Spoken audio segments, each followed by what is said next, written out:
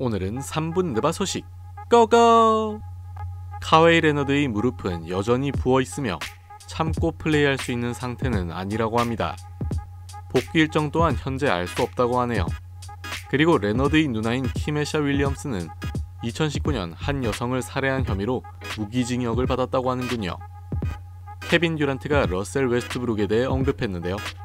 웨스트브룩이 은퇴했을 때 사람들은 진실을 말할 것이라고 했으며 지금은 사람들이 그를 놀리는데 재미를 두고 있지만 클리퍼스로 합류한 이후 웨스트브룩은 플레이를 통해 자신이 누구인지 모든 사람들에게 보여주고 있다고 말했습니다. 또한 듀란트는 레너드가 또 부상당한 것이 안타까우며 그를 상대하고 싶은 마음이 더 크다고도 덧붙였네요. 크리스 폴은 웨스트브룩을 비판하는 사람들은 농구를 모르는 사람들이라고 말했습니다.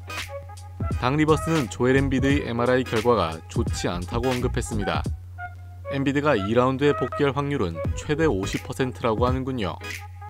필라델피아는 이번 시리즈가 1991년 이후 처음 브루클린을 시리즈 스코어 4대 0으로 sweep한 시리즈라고 합니다. 자 모란트는 딜런 브룩스의 징계 가능성에 대해 어떤 일이 일어나도 놀랍지 않을 것이라고 말했네요.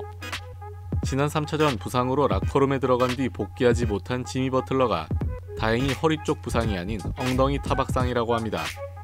그리고 에릭 스포엘스트라 감독에 따르면 빅터 올라디포는 검진을 받아봐야 알겠지만 자신은 현재 토할 것 같은 기분이라 말했네요. 클레이 탐슨은 딜런 브룩스에 대해 전혀 신경 쓰지 않으며 브룩스가 은퇴한다면 아무도 그에 대해 언급하지 않을 것이라고도 말했습니다. 10년만 기다려 보라고도 덧붙였네요. 드레이먼드 그린은 NBA 사무국이 만약 드레이먼드 규정을 만든다면 그건 우리가 이겼다는 것을 의미한다고 말했습니다. 게리 페이튼 2세가 훈련에 다시 참가했으며 다음 4차전에는 출전할 수 있을 것으로 예상되는군요. 안드레이 고달라가 왼쪽 손목의 부목을 풀었고 7에서 10일 이후부터는 가벼운 연습이 가능할 것으로 예상됩니다. 2주 후 재검진할 예정이라고 하네요. 앤서니 에드워즈는 시리즈 스코어 0대 3으로 끌려가는 것에 대해 아직 시리즈는 끝나지 않았다고 답했습니다. 디안젤로 러셀이 지난 3차전 만들어낸 4점 플레이는 2009년 코비 브라이언트가 플레이오프에서 만든 4점 플레이 이후 처음이라고 하네요. 마커스 스마트가 허리 타박상으로 인해 questionable 상태라고 합니다. 패트릭 베벌리는 다음 시즌 아마도 시카고가 아닌 다른 팀에서 플레이할 것으로 예상된다고 하네요. 시카고 구단이 코비 화이트를 주전으로 기용할 만한 신뢰를 보였기 때문이라고 합니다. 고란 드라기치가 마이애미로 복귀하길 희망한다는 루머가 있군요. 퀸튼 그라임스가 오른쪽 어깨 타박상으로 인해 questionable 상태라고 하네요.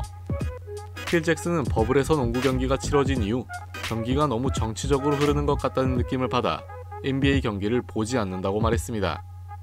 디트로이트 차기 감독직 후보 중 현재 케빈 올리가 가장 유력하다는 소식을 마지막으로 오늘의 3분 느바 소식 끝!